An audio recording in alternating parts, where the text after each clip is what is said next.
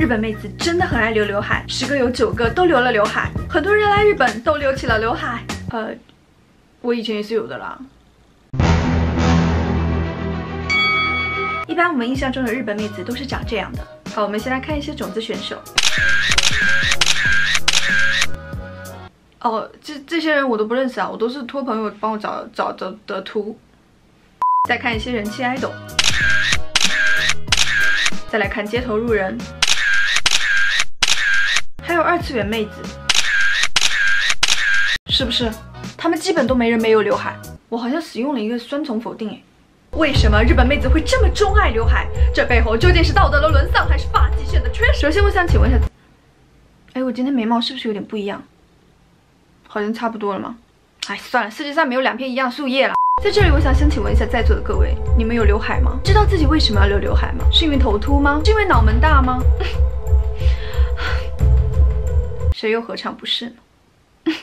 第一，审美和人设。其实刘海对于一个人的形象气质的改变呢是非常关键的。刘海会让一个人的气场变弱。首先，刘海会遮挡你的额头，使别人看不见你智慧的大脑门。而额头是我们自立感的体现之一。这背后的原理我们都知道，因为聪明的脑袋不长毛。哎，不是，为什么只有我一个人悲伤啊？都给我哭。第二个是因为刘海会遮挡一部分你的眼睛，会让你的眼神看起来没有那么灵动，同时也会削弱一点你眼神的犀利感。这其实很好理解，我给你举个例子哦。你看这样是不是你感觉很有压力？但是这样是不是就好多了？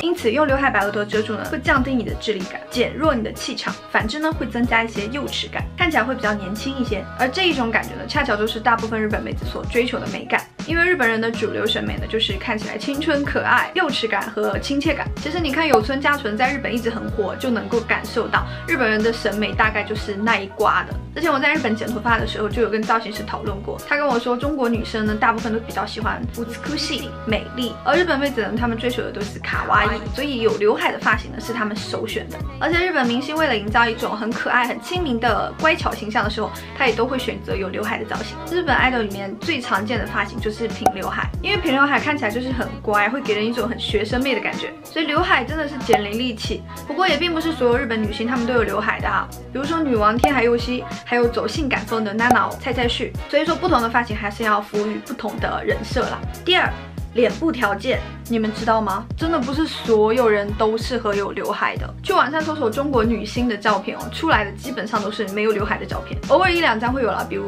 早期的秘密。其实是因为我们国内的大美友，他们的五官和脸型都长得非常好看，而且一般骨骼感会比较强，整个人看起来气场是比较足的。这种外形条件如果留刘海的话呢，反而会弱化他们的气场，让他们失去一种惊艳的感觉。但是在反观日本呢，我们会发现日本妹子的典型长相是这样的，五官线条很柔和，圆圆的脸蛋配上一个有一点肉肉的鼻子。然后因为日本人他们本身的骨架就比较小嘛，所以你在日本真的比较少看到特别大脸的妹子。所以你知道我在这边有多孤单吗？而日本妹子的这种脸型呢，恰巧就是最适合留刘海的，因为首先有刘海的话，会让你的脸显得比较短一点。如果你旁边再有头发遮挡一下的话，就会显得又短又小。呃，好，好像也不是什么让人开心的事情哈。而这种短小呢，会比较趋近于婴儿给人的感觉，所以从视觉效果上就可以给人一种比较年轻可爱的感觉。但是真的真的不是所有人都适合有刘海的，因为这个发型想要好看的前提是你必须拥有一个圆润且灵巧的下颚弧度，就是这一条线。因为有刘海的话，首先会让别人的视线下移。如果你腮帮子不幸跟我一样有很大的话，那别人的视线主要都会集中在你脸的下半部分。于是乎，这样你在别人眼中就变成了一个行走的腮帮子。如果你的脸挺短的，而且还有一点方的话，答应我，千万千万不要留刘海，好吗？因为那样真的只会让你看起来无限趋近于一个麻将而已。啊！不要问我是为什么知道的。第三，从众心理。有个女网友哈，她身高是一米七几，然后留的是那种中分的大波浪。之前在日本读书嘛，就交往了一个日本男朋友，然后那个男朋友就经常叫她去剪刘海，原因就是因为他说，哦，你看日本其他妹子都留刘海啊，多年轻啊，多可爱啊，你去剪一个嘛。当然，这位姐妹她没有剪，于是这个日本男生也变成了前男友。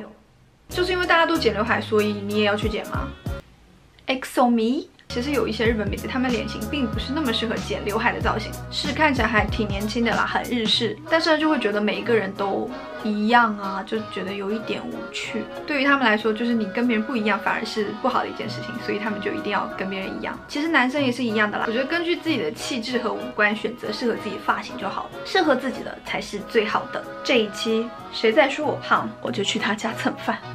如果不想被我蹭饭的话，你们转发、评论、点赞点赞。